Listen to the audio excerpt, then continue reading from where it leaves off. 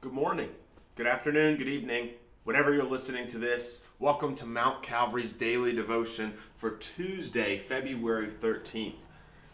Yesterday, we started our series this week talking about be still and and different things that we're doing this week when we're being still. Yesterday, we talked about being still and listening to God, listening to His call, listening to His word. Well, today we're going to talk about being still and focusing on God. I'd invite you to pray with me. Dear Heavenly Father, help us to be still and breathe in, breathe out, and lean on your forgiveness, love, and mercy all the days of our lives. Amen. Today, our, our reading is going to come out of the Gospel of Matthew, chapter 14, starting at verse 22 and going through verse 33. And we're going to be reading a passage that is very well known. Um, I think if you go up to almost any Christian and ask them what two people stood on water, they probably could name at least one of them. Uh, most, some would probably be able to name two. But we're going to be reading the, the passage about Jesus and Peter walking on water, and I want you to listen to it almost as you've never read it before. Follow along, please. Matthew 14, starting at verse 22. Immediately he made the disciples get into the boat and go before him to the other side, while he dismissed the crowds. And after he had dismissed the crowds, he went up on the mountain by himself to pray. When evening came, he was there alone. But the boat by this time was long away from land, beaten by waves, for the wind was against them. And in the fourth watch of the night he came to them, walking on the sea. But when the disciples saw him walking on the sea, they were terrified, and they said, It is a ghost, and they cried out in fear. But immediately Jesus spoke to them, saying, Take heart, it is I. Do not be afraid. And Peter answered him, Lord, if it is you, command me to come out onto you on the water. Jesus said, Come. So Peter got out of his boat and walked on the water and came to Jesus. But he saw the wind and he was afraid. And beginning to sink, he cried out, Lord, save me. Jesus immediately reached out his hand, took hold of him, saying to him, O you of little faith, why did you doubt? And when they got into the boat, the wind ceased. And those in the boat worshipped him, saying, Truly, you are the Son of God. Today, as I said, we're focusing on focus. Be still and focus on Jesus. This is one of my favorite stories in the Bible, one of my favorite accounts of Jesus, because Peter, on the surface area, seems like he's the one that's got the littlest faith, you know, because when he, he drowns and he falls, and Jesus says, Oh, you of little faith but the faith of Peter to step out of the boat gave him an experience that none of the other disciples ever had walking on water.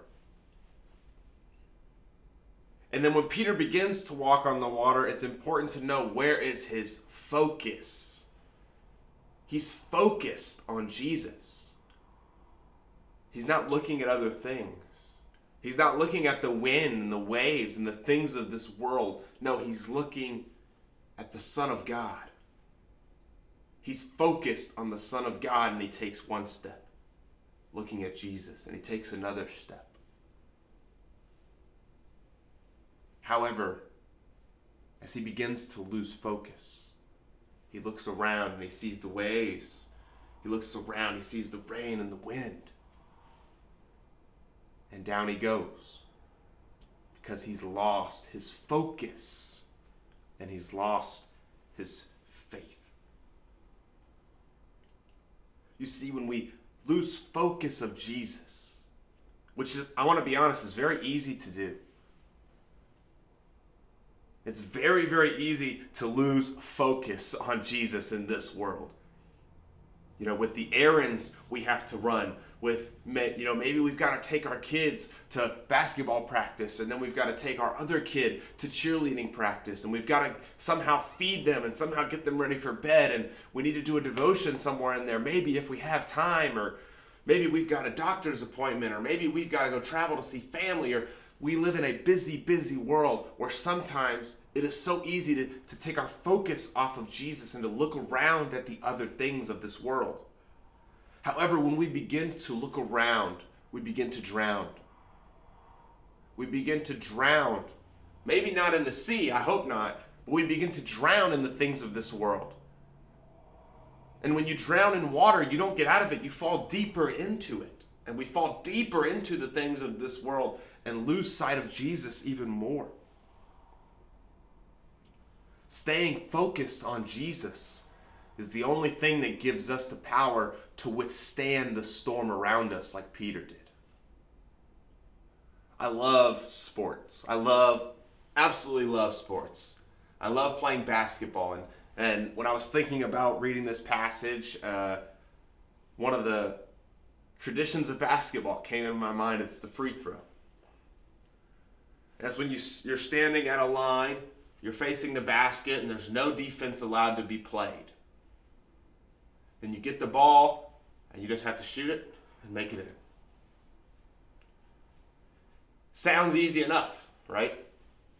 Sounds like professional basketball players should be able to do this so, so easily. They could do it, they should be able to do it every time. However, it's so hard to focus in that moment because you've got the crowds all around you. You've got the players all watching you. Every fan is watching you in that moment to see if you can make the shot. And we lose focus because of all the other things going on around us. Peter, when he focused on Jesus, could begin to take those steps. When we focus on Jesus, we begin to take those steps in faith. And when we look around and our faith starts to wither, starts to dwindle, we drown. However, thank God. Thank God for Jesus, who reaches down when we are drowning in the world and lifts us up with his grace and with his mercy. Jesus doesn't let us drown in the world. He lifts us up. He walks us back to the boat. And he says, try again.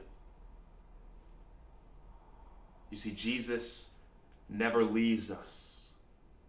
Even when we take our focus off of him, Jesus is always with us and there to pick us up when we fall.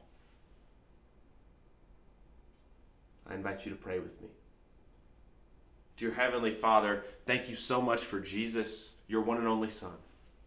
Thank you so much that you never leave us or forsake us. Thank you so much for your mercy, love, and grace every time we begin to drown. I pray that you would keep us safe this day and focus on you. Amen. Thank you so much for joining us today. I hope to see you again tomorrow.